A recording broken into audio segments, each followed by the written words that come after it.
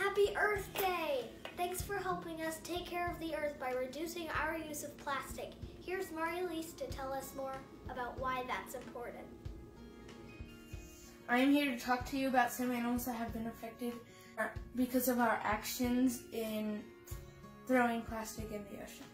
A seahorse would cling to algae, but instead they're clinging to straws and that might be bad because they could get stuck on the straw. And sea turtles would probably eat something like this or a plastic bag because they love to eat jellyfish and this floating in the water would probably look like a jellyfish. So if they eat it, then it goes through their system. The system gets clogged and then they die. We need to preserve our animals because if we don't do something about it, they will probably get extinct and every animal has a role in the world. Bye. When Girl Scouts see a problem, we take action. So here are five ways to reduce your use of plastic. Now I'm going to show you how to pledge to use less plastic. Trace your hand. First, straws. Never have to use a straw. You can just drink from a cup without one. Next, bottles. Instead of buying single-use plastic water bottles, fill up a reusable one to take with you. Third, to-go containers. Instead of styrofoam boxes or Ziploc bags, use Tupperware or glass containers. Fourth, utensils. Ask for no plastic utensils when you get food. I bet you have silverware ones at home. Last, bags. Instead of using plastic bags that hurt the earth, bring reusable grocery bags to the store. Now watch this video that we made with plastic facts and tips. Oh, and I almost forgot.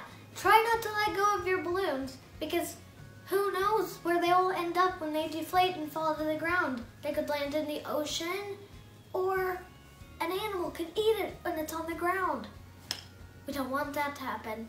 So maybe just tie it around your wrist and you'll be good. Just because we are sheltered inside right now doesn't mean we are short on water. Do you still have water at home? Then you don't need plastic water bottles. Remember, they're bad for the earth. And even if you need to go outside, remember, you can always bring your reusable water bottles.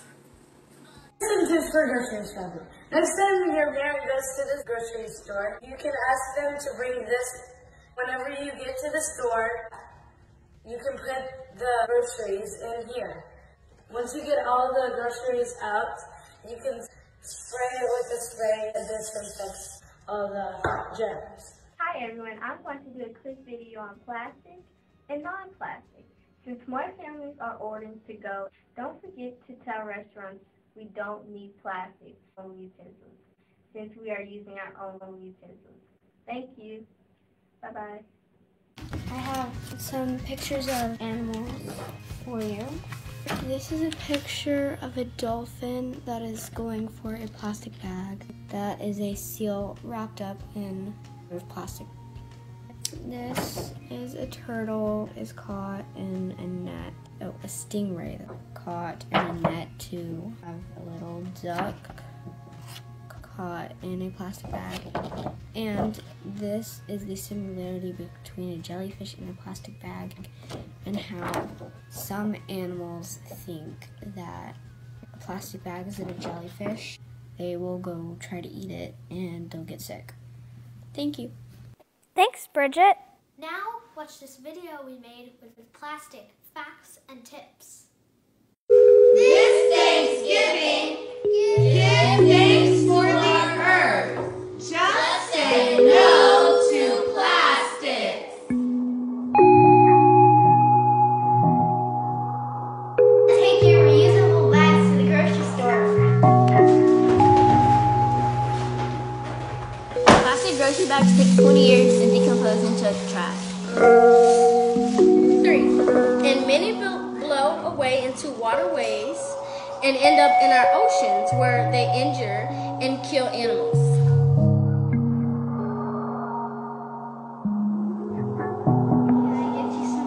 Yes,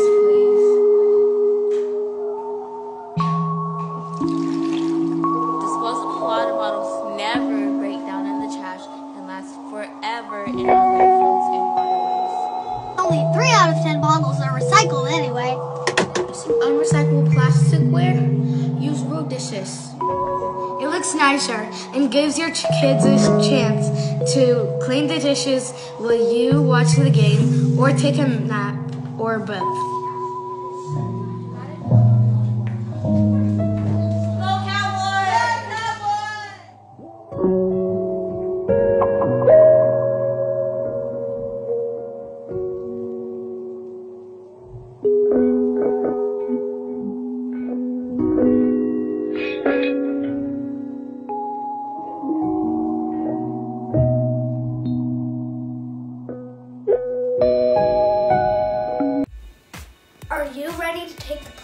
Pledge? Here's how you can take the plastic pledge. Just sign your name on the five things you pledge to use less of and post a picture of your promise to earn a special patch.